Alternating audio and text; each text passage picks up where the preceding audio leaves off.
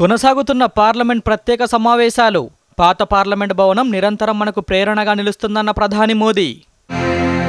చారిత్రక భవనం నుంచి మనం వీడ్కోలు తీసుకుంటున్నామన్న మోదీ. తెలంగాణ వంటి పలు రాష్ట్రాల ఏర్పాటుకు ఈ భవనం వేదికైందని వెల్లడి. భారత్ అభివృద్ధి వీచికలు ప్రపంచవ్యాప్తంగా వీస్తున్నాయన్న ప్రధాని. డెబ్బై ఐదేళ్ళలో మనం సాధించింది ప్రపంచాన్ని అబ్బురపరిచిందని మోదీ వ్యాఖ్య.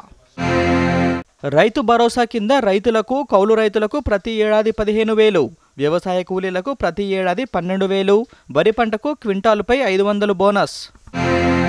గృహజ్యోతి పథకం కింద నివాస గృహాలకు రెండు వందల యూనిట్ల వరకు ఉచిత విద్యుత్. ఇందిరమ్మ ఇళ్ళ పథకం కింద ఇల్లు లేని వారందరికీ ఇల్లు ఇంటి స్థలంతో పాటు ఐదు లక్షలు.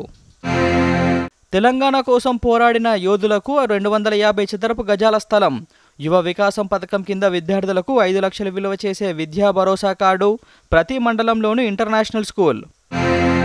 చేయూత పథకం కింద అర్హులైన వారికి నెలకు నాలుగు వేల చొప్పున పెన్షన్లు. పది లక్షల మేర రాజీవ్ ఆరోగ్యశ్రీ బీమా సదుపాయం. కాంగ్రెస్వి వారంటీలు లేని గ్యారంటీలు అన్న మంత్రి హరీష్ రావు కర్ణాటకలో ఇచ్చిన హామీలు అమలు చేయలేక వంద రోజుల్లోనే ఆగమయ్యారని విమర్శ. చట్టసభల్లో మహిళా బీసీలకు రిజర్వేషన్ల బిల్లులను ప్రవేశపెట్టాలి. ఉభయ సభల్లో బీఆర్ఎస్ డిమాండ్. సర్దార్ పటేల్ లేకపోతే హైదరాబాద్కు విముక్తి లభించేది కాదన్న కేంద్ర హోంమంత్రి.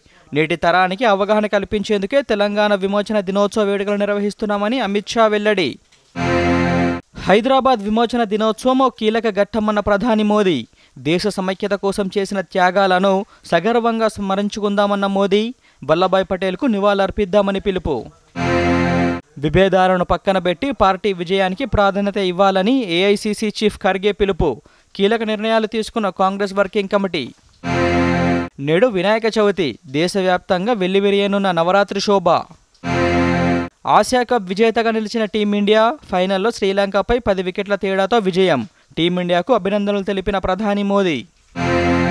ఈ నెల ఇరవై మూడున జమిలీ ఎన్నికల కమిటీ తొలి సమావేశం. వన్ నేషన్ వన్ పోల్ నిర్వహణ సాధ్య అసాధ్యాలపై చర్చ. తిరుమలలో సాలకట్ల బ్రహ్మోత్సవాలకు అంకురార్పణ. ఈ నెల ఇరవై ఆరు వరకు ఉదయం రాత్రి వేళల్లో వాహన సేవ. పార్లమెంట్ ప్రత్యేక సమావేశాల రెండో రోజు మంగళవారం సభ్యుల గ్రూప్ ఫోటో సెషన్. ఈ మేరకు లోక్సభ సెక్రటేరియట్ బులెటిన్ విడుదల. పశ్చిమ బెంగాల్ శాంతి నికేతన్కు యునెస్కో ప్రపంచ వారసత్వ ప్రదేశంగా గుర్తింపు. ఈ మేరకు యునెస్కో ట్వీట్. అనంతనాగ్లో కొనసాగుతున్న సెర్చ్ ఆపరేషన్ ఉగ్రవాదులు గెరిల్లా యుద్ధ వ్యూహాలు అవలంబిస్తున్నారన్న డీజీపీ. చురుగ్గా కదులుతున్న రుతుపవనాలు నేడు రేపు భారీ వర్ష సూచన